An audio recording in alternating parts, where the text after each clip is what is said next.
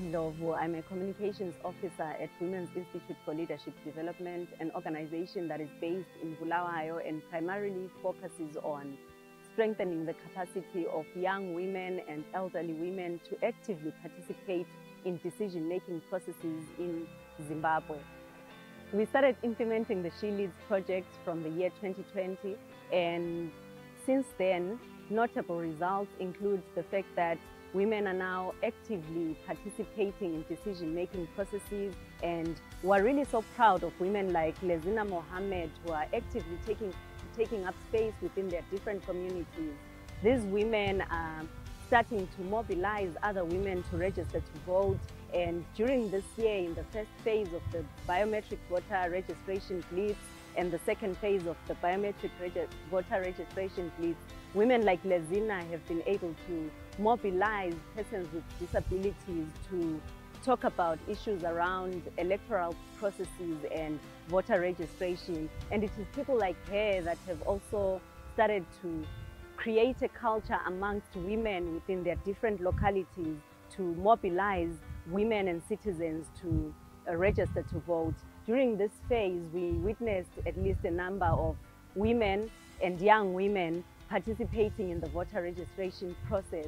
And this amounted to around 355 women who were able to register to vote through initiatives that were being done by ward advocacy coordinators like Lezina Mohammed. My name is Lezina Mohammed. I'm a mentee with Women's uh, Institute in Leadership Development, WILD. I do, I've been doing mentorship programs for the past like three, four years um, with WILD and uh, under the She Leads program as well. I used to be very shy. I, I couldn't relate with people.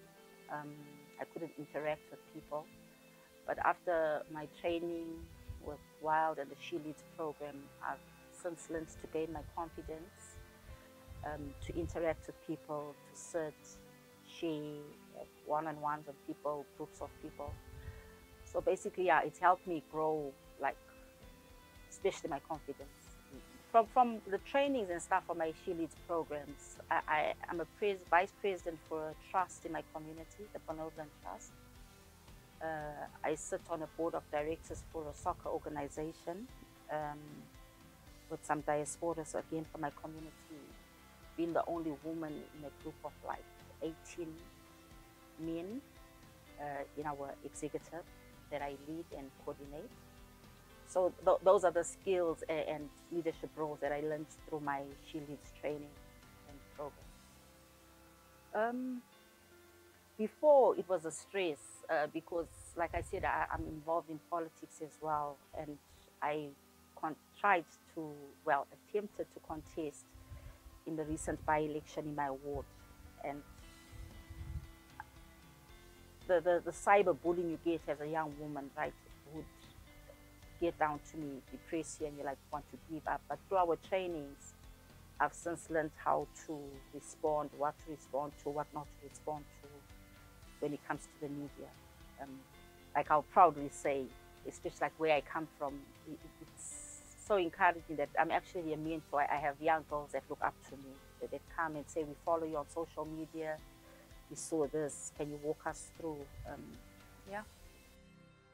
We also witnessed key results where women like Sichelesile Mahlangu were continuously being subjected to challenges within their leadership positions. My name is Celesile Mahlangu, Member of Parliament for Pumula constituency. I'm also the Deputy Chief Whip for Triple C Party in the Parliament. I also sit uh, on the Committee of Health and Childcare, Def Defense, Home Affairs and Security, and also the Public Service and Social Welfare. Uh, I've, uh, I've managed uh, to overcome some of the challenges that you face.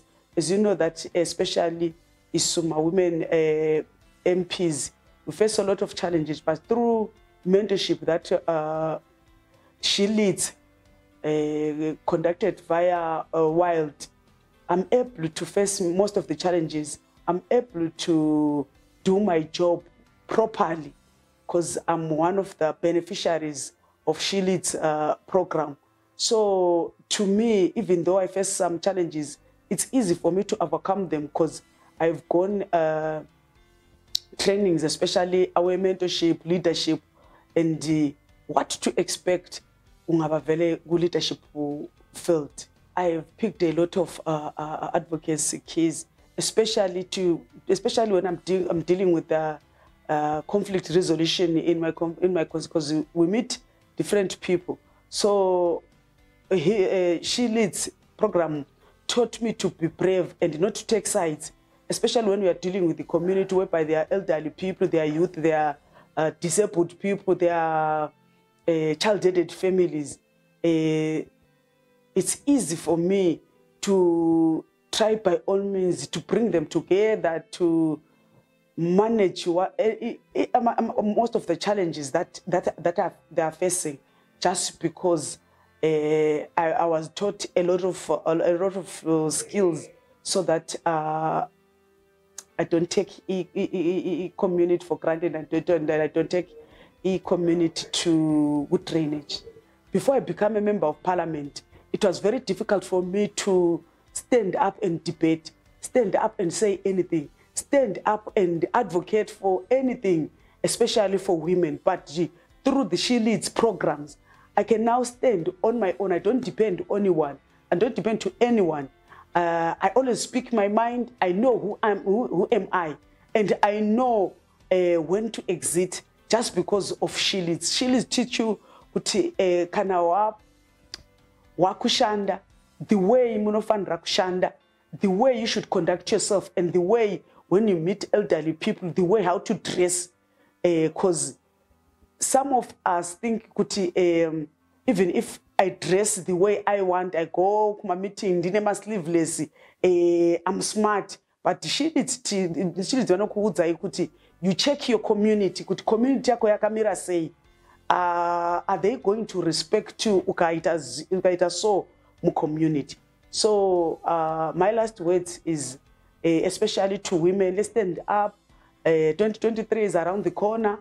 Let's go out there and shine for She Leads because of the programs that they've taught us, the mentorship programs, the leadership programs. So I, I, I urge all young people to say, let's stand up and let's be counted among uh, my candidates for 2023.